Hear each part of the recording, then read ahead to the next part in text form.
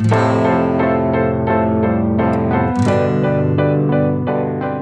everybody, Sanjeev from iChatter.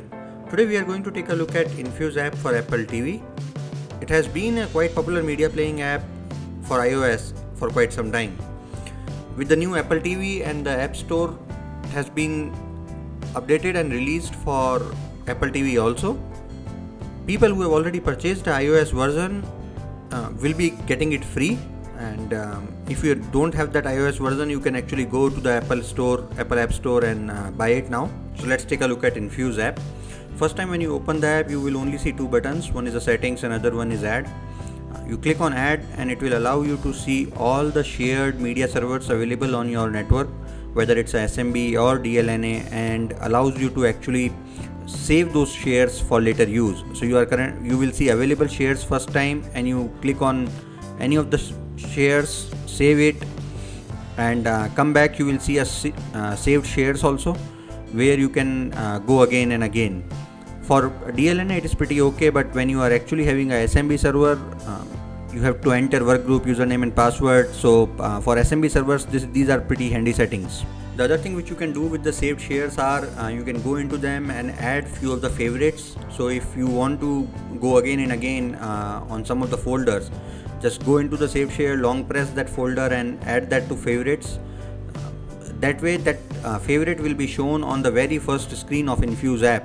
So you don't have to again and again come into the saved share to reach your uh, to reach your files there are general settings available. Uh, you can actually control your shares. You can add your Trakt account. Um, select whether you want it to scroll on and off and want to show the file name date and how to how to do the metadata fetching even uh, subtitles and other stuff. Uh, you can in the subtitles you can change uh, the default language because that will be available right away. So uh, set your default language accordingly and uh, metadata also is the same thing. You can select how, what which language and everything you need to use. So these are the basic settings which is available. Just set the languages uh, which you want to use by default as well as set your uh, account and handle your shares from the settings. You can go to any of your uh, favorite folder and uh, you will see all the folders and a movie file or uh, video files inside. Uh, like I have all the folders available here so I am just seeing all the folders I click on any of the folders and it will start uh, showing me all the files which is available or all the video files which is available inside the folder. If the, your naming conventions is correct uh, you have properly named the files it is automatically going to fetch the metadata for all of those files and um, start showing you all the metadata also.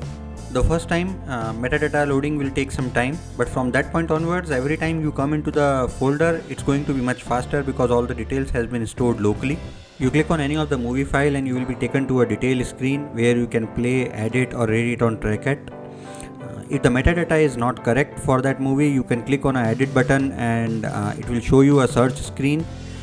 You can see the file name search for the correct uh, movie and just click on that and your metadata will be updated automatically.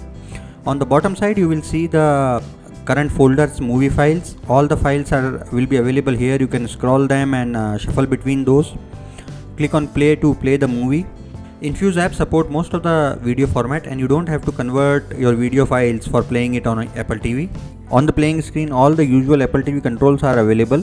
You can do fast forward and rewind through trackpad, uh, swipe down to get more information and more controls. You have info audio subtitles available to you. Under subtitles, you can change certain options like font, size, color, vertical alignment, and other stuff. Uh, if you don't have a subtitles uh, available to your movie, you can just click on get more and uh, select one of the subtitles from opensubtitles.org. And uh, right on the screen, it will fetch you that subtitle and uh, start displaying on this movie. If you have multiple audio tracks available, you can change those audio tracks under the audio screen just select which track you want to use and under the info tab you have the options to select different chapters and jump directly into those chapters you will be seeing a check mark on the chapter which you are playing right now and if you want to jump uh, to any other chapter just select that chapter and you will be into that uh, chapter. And the whole processing not only works for movies it also works for the tv shows. The artwork for tv shows and uh, all the other details will also be fetched and will be shown uh, nicely on the apple tv so if you are actually doing all the media management on your NAS drive and uh, you have a lot of TV shows as well as movies available to you, this is one of the must-have apps. And uh, it saves you from adding all the metadata to the video files um, because it fetches on the runtime it also uh, allows you to play almost all kind of media formats uh, right from the NAS drive and you don't have to convert them to Apple specific formats or do any other work on that. So that's all about Infuse app on Apple TV. If you like the video, uh, just hit the like button below or subscribe to iChatter for more information on Apple TV apps. Thanks for watching.